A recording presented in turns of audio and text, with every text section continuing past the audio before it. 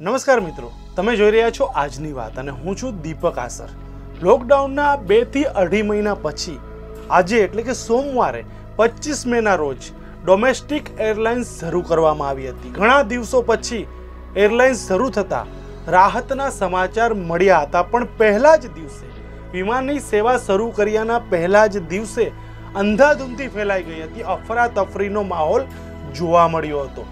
કેટલાક રાજ્યોએ ટેક ઓફના નિર્ધારિત સમયની ગણતરીની કલાકો પહેલાં જ આવી ફ્લાઇટ્સની લેન્ડિંગને પરવાનગી આપવાની ના પાડી દીધી હતી. અચાનક તેની સંખ્યા ઘટાડી નાખી હતી, જેના કારણે હજારો મુસાફરો હેરાન પરેશાન થઈ ગયા હતા. એરપોર્ટ પર પહોંચેલા આ પ્રવાસીઓ છેલ્લી ઘડીએ ફ્લાઇટ્સ કેન્સલ થતા ક્યાંયના રહ્યા નહોતા. આજે આવેલા અહેવાલો મુજબ, પ્રથમ દિવસે જ એંસીથી બ્યાસી ફ્લાઇટ્સને કેન્સલ કરવામાં આવી હતી. ઓરિસ્સાએ ભુવનેશ્વર આવતી દસ ફ્લાઇટને કેન્સલ કરી હતી. તો દિલ્હીએ લગભગ એંસી ફ્લાઇટને કેન્સલ કરી હતી. આ સિવાય મુંબઈ અને ચેન્નઈ જેવા વ્યસ્ત હવાઈ મથકો ઉપર છેલ્લી ઘડીએ વધારાના નિયંત્રણો લાદી દેવામાં આવતા અનેક ફ્લાઇટ્સ રદ થઈ ગઈ હતી. આજે બેંગલુરુ હૈદરાબાદ ફ્લાઇટ્સ પકડવા માટે બેંગલુરુ એરપોર્ટ પર આવેલા એક પેસેન્જર એવું જણાવ્યું હતું કે એરપોર્ટ પર એન્ટ્રી પર અમારા બોર્ડિંગ પાસ સ્કેન થઈ ગયા હતા. ત્યાર પછી જાણવા મળ્યું કે અમારું બોર્ડિંગ કેન્સલ થઈ ગયું છે. છેલ્લી ઘડીએ કોઈ પણ નોટિસ આપ્યા વગર અમારા બોર્ડિંગ કેન્સલ કરી દેતા. હવે અમે પરેશાન થઈ ગયા છીએ. મુંબઈના છત્રપતિ શિવાજી ઇન્ટરનેશનલ એરપોર્ટ પર એક મહિલાએ એવું કહ્યું હતું કે તેની મુંબઈથી દિલ્હીની ટિકિટ બુક હતી આજે. એરપોર્ટ પર પણ પોતે આવી ગઈ છે. પણ કોઈ પણ જાતની નોટિસ વગર હવે જાણવા મળ્યું છે કે તેની ફ્લાઇટ કેન્સલ થઈ ગઈ છે. આવા તો ઘણા કિસ્સા. આજે દેશભરમાં જોવા મળ્યા હતા. પહેલા દિવસે જ અફરાતફરી કેમ થઈ? આવો જોઈએ. દિલ્હીના આઈજીઆઈ એરપોર્ટ પરથી એસી અરાઇવલ અને ડિપાર્ચર ફ્લાઇટ્સ છેલ્લી ઘડીએ રદ કરવામાં આવી હતી.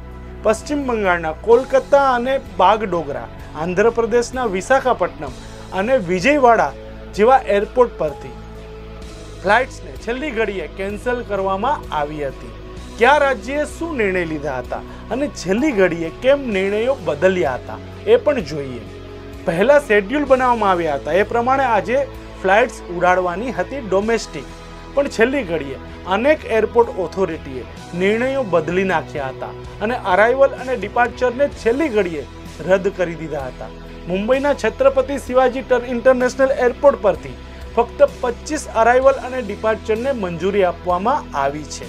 જી હા બાકીની જે ફ્લાઇટ્સ છે પચીસ ઉપરાંત જે ફ્લાઇટ્સ છે તે રદ કરવી પડી હતી. કોલકાતા બાગ ડોગરાના અધિકારીઓએ આગલી રાતે, એટલે કે ગઈકાલે રાત્રે, મોડી રાત્રે એવો નિર્ણય જાહેર કર્યો હતો કે હવે સોમવારથી, એટલે કે આજથી નહીં, પણ અઠ્યાવીસ મેથી આ બંને એરપોર્ટ પર ફ્લાઇટનું સંચાલન શરૂ કરવામાં આવશે. અને એ પણ માત્ર વીસ ફ્લાઇટનું, તેનાથી વધારે નહીં. પરિણામે આજના શેડ્યુલ ખોરવાઈ ગયા હતા. વિશાખાપટ્ટનમ અને વિજયવાડાના એરપોર્ટ અધિકારીઓએ પણ છેલ્લી ઘડીએ આવા જ નિર્ણયો લીધા હતા. યુ ટર્ન માર્યો હતો. તેઓએ કહ્યું હતું કે પચીસ મે અમે કોઈ પણ ફ્લાઇટનું સંચાલન કરવા માગતા નથી. છવ્વીસ મેથી લોકડાઉન પહેલાંના સ્તરની જે ફ્લાઇટ ઉડતી હતી, તેના વીસ ટકા ફ્લાઇટ જ અમે છવ્વીસ મેથી ઉડાડવા માગીએ છીએ. તેનાથી વધારે નહીં. એટલે કે આવતીકાલે પણ અંધાધૂંધી અને અફરાતફરીનો માહોલ જોવા મળશે. બીજી તરફ ઇન્ટરનેશનલ ફ્લાઇટ્સના સંચાલનને લઈને જે આગામી દિવસોમાં શરૂ કરવાનો પ્લાન છે, તેને લઈને સુપ્રીમ કોર્ટે પણ એક અભૂતપૂર્વ ચુકાદો આપ્યો છે. શું છે આ ચુકાદો? આવો જોઈએ. હવાઈ યાત્રા દરમિયાન સોશિયલ ડિસ્ટન્સિંગના પાલનને લઈને બોમ્બે હાઈકોર્ટના ઓર્ડર સામે સુપ્રીમ કોર્ટમાં કરવામાં આવેલી એક અપીલની આજે હિયરિંગ કરવામાં આવી હતી અને હિયરિંગમાં ચુકાદો પણ આપવામાં આવ્યો હતો. સુપ્રીમ કોર્ટે એવું કહ્યું કે એર ઇન્ડિયા આગામી દસ દિવસ સુધી સંપૂર્ણ ફ્લાઇટ્સ ચલાવી શકશે, તેનું સંચાલન કરી શકશે, કારણ કે પહેલેથી જ બુકિંગ થઈ ગયું છે. જેથી મિડલ સીટનું બુકિંગ અમે દસ દિવસ સુધી કરવાની પરવાનગી આપીશું. સુપ્રીમ કોર્ટે આજે કઈ અરજીની સુનાવણીમાં આ અભૂતપૂર્વ ચુકાદો આપ્યો હતો એ પણ જાણી લઈએ. કેન્દ્ર સરકાર અને એર ઇન્ડિયાએ બોમ્બે હાઈકોર્ટના આદેશને પડકારીને સુપ્રીમ કોર્ટમાં એક અપીલ દાખલ કરી હતી.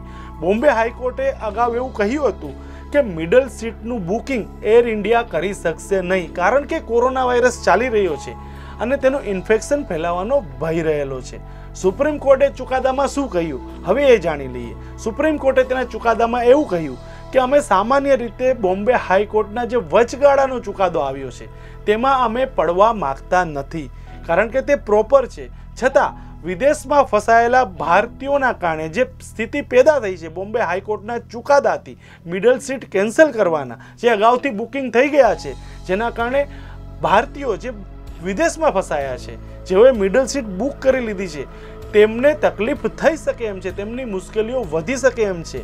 પરિણામે મુસાફરી માટે કાયદેસર ટિકિટ ઇસ્યુ કરવામાં આવી ચૂકી છે ત્યારે હાઈકોર્ટના આદેશમાં અમે એટલું રિલેક્સેશન આપીએ છીએ કે આગામી દસ દિવસ સુધી જે ટિકિટ બુક થઈ ગઈ છે, તેમાં મિડલ સીટમાં પ્રવાસ થઈ શકશે, પણ એ પછી મિડલ સીટનું બુકિંગ થઈ શકશે નહીં. આવું ચોખ્ખું સુપ્રીમ કોર્ટે જણાવી દીધું છે.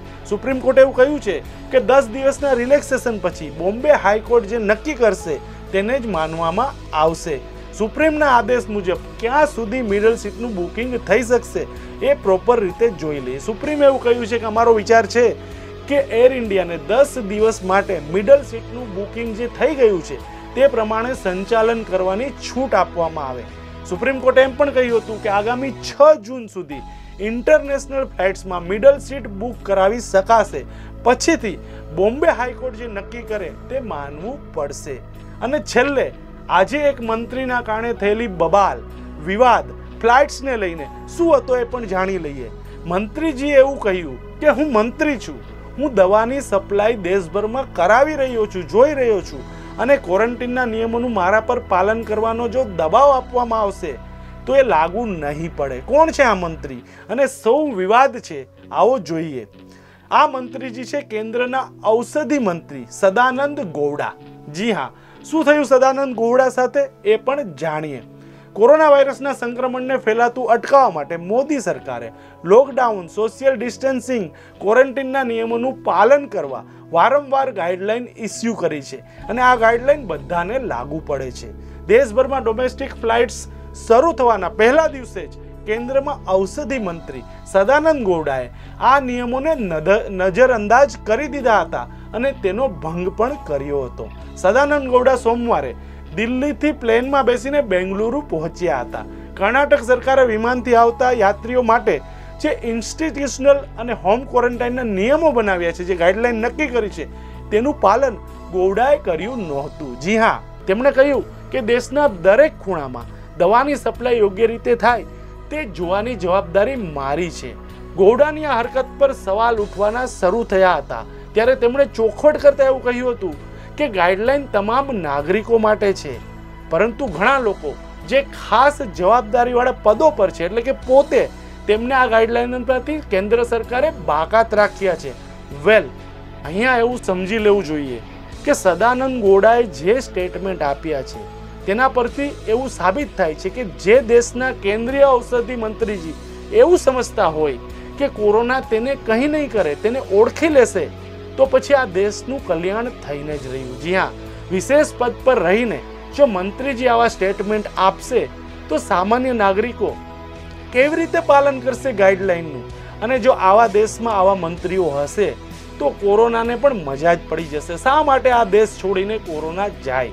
એ સવાલ પણ મંત્રીજીને પૂછવો રહ્યો. ધન્યવાદ. તમે અમારો આ વીડિયો જો યુટ્યુબ પર જોઈ રહ્યા હોવ, તો તરત જ અમારા યુટ્યુબ ચેનલને સબસ્ક્રાઇબ કરો અને નવા વિડીયોના અપડેશન માટે બેલ આઇકોન દબાવવાનું ભૂલશો નહીં. જો તમે અમારો આ વીડિયો ફેસબુક પર જોઈ રહ્યા હોવ, તો અમારા પેજને લાઇક કરો. વધુ અપડેટ માટે દિલોકસત્તા ડોટ કોમની વિઝિટ કરવાનું ભૂલશો નહીં.